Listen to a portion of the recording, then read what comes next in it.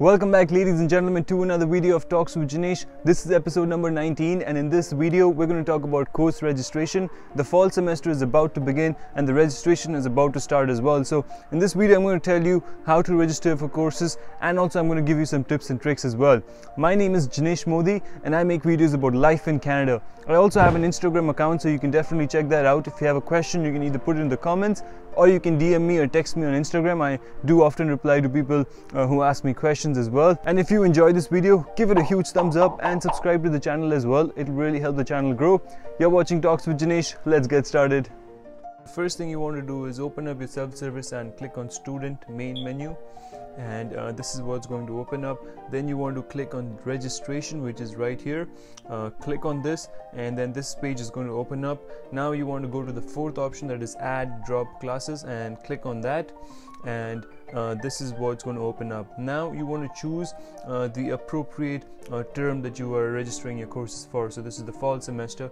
You can click that and submit it. And then you enter the course uh, crns in the empty fields.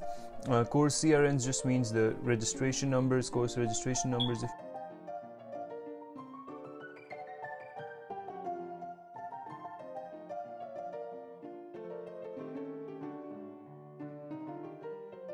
and then when you finish uh, entering all of the course uh, CRNs then you can click on submit changes.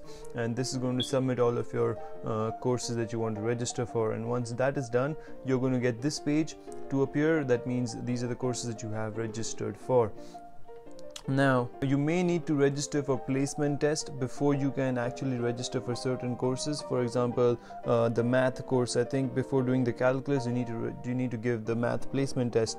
Uh, so that means uh, you will not be able to register for the math uh, 1000 the math calculus course without actually doing the mpt and then you also may need to register for the science 1807 and 1808 if you are registering for a lab science course. This is just mainly for safety and you will automatically be registered for integrity 1000 this is the academic integrity course available uh, through your brightspace account more details on this can be found at this link and this is also going to be posted in the description below. Now waitlist for a course. Let's talk a little bit about that. Waitlists are created uh, for when the course is full.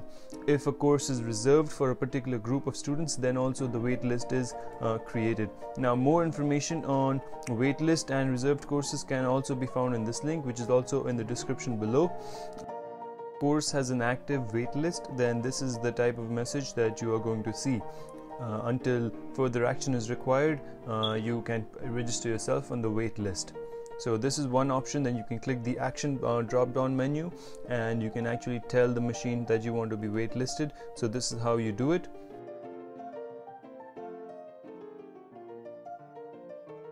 and once that is done you can click on submit changes and uh, submit to be waitlisted. Now your place on the waitlisted is displayed right here. So for example if you are the first person uh, that is going to be waitlisted then this is where uh, it's going to show you. If there are 50 people before you then you're going to see there are 50 now making changes after you reg registered for a course uh, most changes can be made through your self-service account directly if you need to change a section of a course add the new section before you drop the old one. Uh, this also can be done by via your self-service. Changes in your registration could deregister you for other courses where core requisites exist. For example you cannot uh, do a certain course before a certain course. That's the pre but the core which needs to go side uh, hand in hand you need to do them together. If you change one then you will automatically be deregistered for the other course. So just make sure you're taking note of this point. Now if you want to change the section of a course uh, this is how you're going to do it. You're going to enter the new crn the new course registration number of uh, the section that you want to be in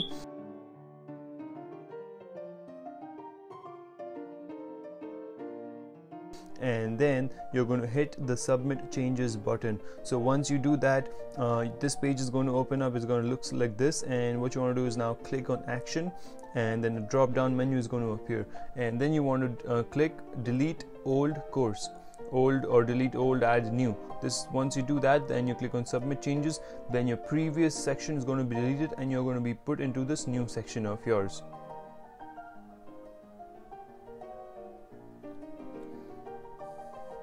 Now, what's important to note here is if you have not met the prerequisites or co-requisites of the course, then you will be automatically dropped from the course at a later point.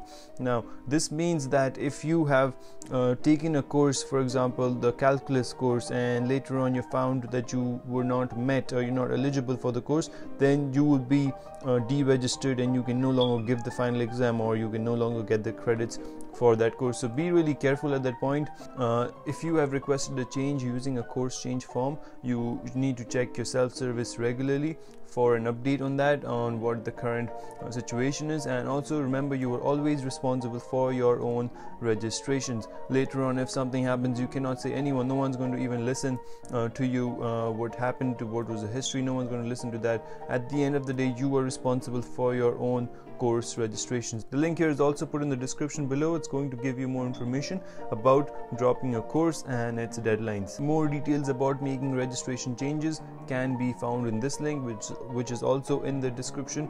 Uh, you can click that and find it. Now let's view your schedule. Let's talk a little bit about that. To view your schedule, you again need to go to student main menu, and once you click that, this is what is going to open up. You click on registration now and you're going to see something like this. Now you want to click on class schedule. Once you click this you're going to see a very nice formatted uh, schedule. But before that you actually need to also select the term the semester of the schedule you want to look for. And now you see it's very well put out for you your entire course. Back in the day i used to actually manually write uh, this class routine i had in uh, grade i think 5 6 7 8 all my high school days as well is to manually write it down. But here you've actually been given uh, the entire schedule. If you make a change it automatically automatically gets updated. So this is something really useful really helpful. And what i've seen most students do is they put uh, this schedule as a wallpaper in their cell phone. So when you're running to classes you can quickly open up your phone and see where your next class is uh, which building and which room number and from what time to what time. So putting your wall putting your schedule in your wallpaper is something that has been proven to help students. You can also view a more detailed version of your schedule, and to do that, all you need to do is uh, click on Detailed Schedule. Once you click that, you're going to see the entire details of who the professor is and who uh, what timing it is. You'll also have the option to see the email of the professor. When registering for a course it is recommended to double check uh, the campus because you don't want to register for a campus that you are not uh, in. Right to know about methods of payment, you can see this link here. It's also in the description. You can click that and find out the different methods of payments available. And if you have any more further questions about registration, you can contact the registration helpline for St. John's. It is reghelp at mun.ca and this is the number. And for Grenfell campus, it is info at grenfell.mun.ca. Alright, that's it for this video. I hope you guys enjoyed it. And if you did, give it a huge thumbs up for more videos like this. Subscribe to the channel as well. And if you have any questions, you can always drop it in the comments, text me on Instagram. Anything that you feel is uh, comfortable for you is totally fine with me. In the next episode, we are going to talk about applying to graduate school. That is for your master's degree. So you can do it in any field uh, mechanical engineering, civil engineering, computer science, biochemistry, anything that you are interested in, you can do your graduate school here. You can complete the master's degree. And in the next video, I'm going to tell you more in details about it. And presenting is going to be Dr. Amanda Bittner, who is the member of the admissions committee here at MUN. So stay tuned for that, guys. It's been fun. You're awesome. Talk to you later.